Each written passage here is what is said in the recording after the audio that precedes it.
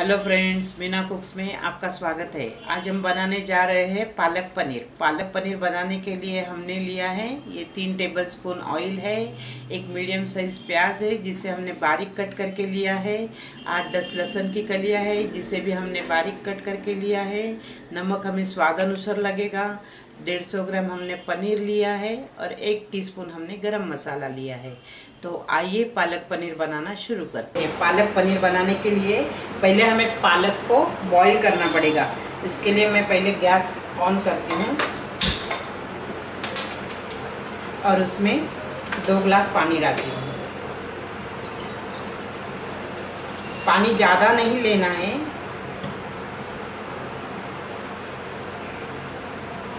पानी गर्म होने के बाद उसमें हम पालक डालेंगे। अच्छे से धो लेना है। नमक के पानी से धोना है उसको। अभी हमारा पानी गर्म हो चुका है तो उसमें हम ये पालक डालते हैं।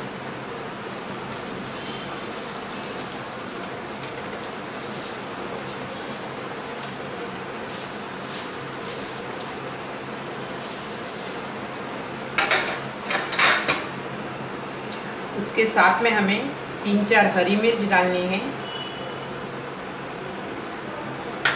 और आठ दस लहसुन की कलियाँ डालनी है।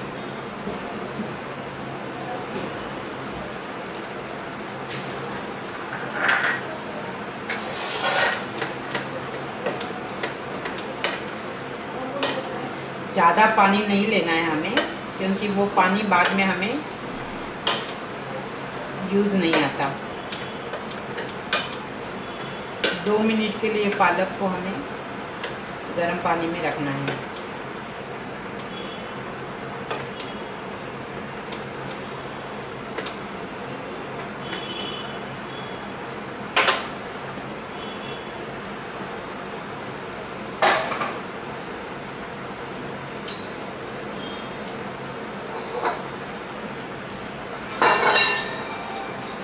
पालक बॉईल हो चुका है। अब हम गैस ऑफ़ करते हैं। और ये मैंने पानी लिया है, उसमें मैंने बर्फ़ डाला है। मुझे ब्लांचिंग करना है पालक को और हरी मिर्च और लहसुन को। तो मैं ये उसमें डाल देती हूँ।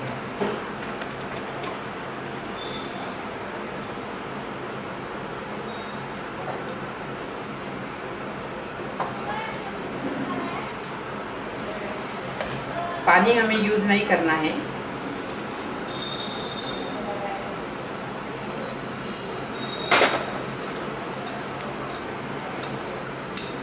ये मैंने पालक, हरी मिर्च और लहसुन सबको इसमें डाल दिया। इसको बर्फ़ के पानी में रखा है। इसको अभी मैं निचोड़ के लेती हूँ। थोड़ा सा ही निचोड़ के लेना है मतलब एकदम ज़्यादा है, उसको ये नहीं करना है। और ये करके मुझे मिक्सी में इसका प्यूरे बनाना है। इसके साथ में मिर्ची और लहसुन भी लेना है हमें।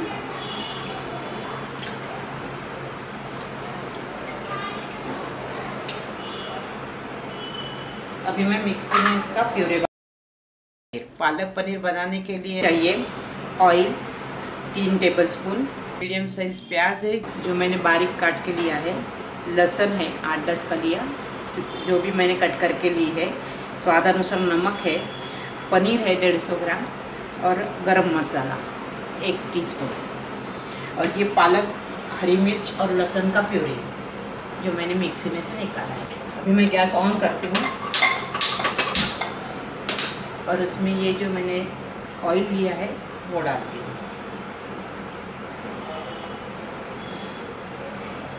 ये ऑयल मैंने ज़्यादा लिया है, क्योंकि मुझे उसमें पनीर को थोड़ा सा फ्राई करना है। ऑयल गर्म हो चुका है, अभी मैं उसमें ये सब पनीर डालती हूँ, जो मुझे थोड़ा सा फ्राई करना है।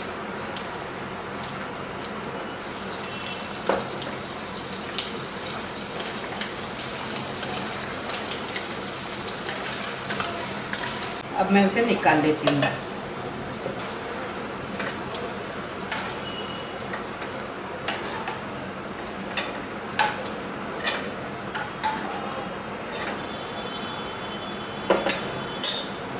अभी मुझे इतना ऑयल नहीं चाहिए सब्ज़ी के लिए तो मैं थोड़ा सा कम कर लेती हूँ।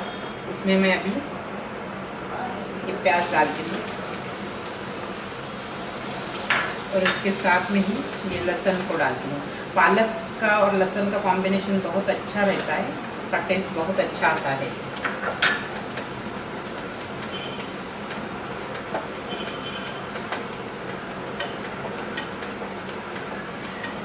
प्याज को एकदम बारीक काटना है और लहसुन को भी बारीक ही काटना है। हम ये जो प्यूरे बनाया था, वो उसमें डालते हैं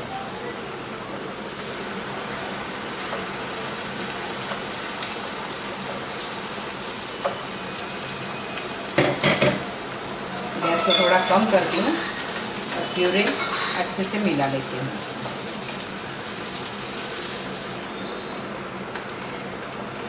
इसमें मैं अभी नमक डालती हूँ। स्वाद अनुसार नमक डालना है। हरी सब्ज़ी में ऑलरेडी नमक की मात्रा रहती है, इसलिए थोड़ा कम नमक डालना है। और एक चम्मच मैंने गरम मसाला लिया है, जो मैं उसके ऊपर डाल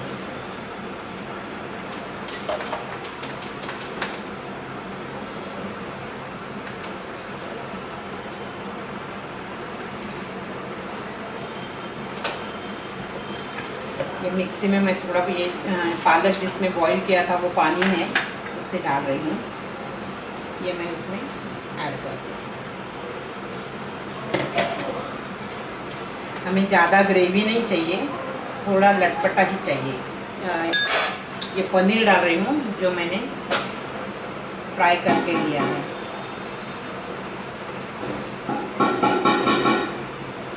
इसको भी मैं इसके साथ में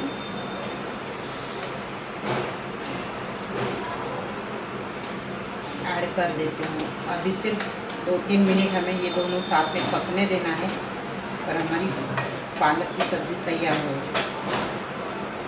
पालक पनीर की सब्ज़ी तैयार हो गई है, जिसे मैंने सर्विंग डिश में निकाला है। उसके ऊपर मैं ये थोड़ा सा मलाई डालती हूँ, जिससे टेस्ट भी अच्छा आता है और दिखने में भी अच्छा दिखता है। हमारी पालक पनीर की सब्ज़ी बहुत ही अच्छी बनी है। अगर मेरी ये रेसिपी आपको पसंद आती है तो प्लीज़ इसे लाइक कीजिए, अपने फ्रेंड्स के साथ शेयर कीजिए और मेरे चैनल को सब्सक्राइब कीजिए। Thank you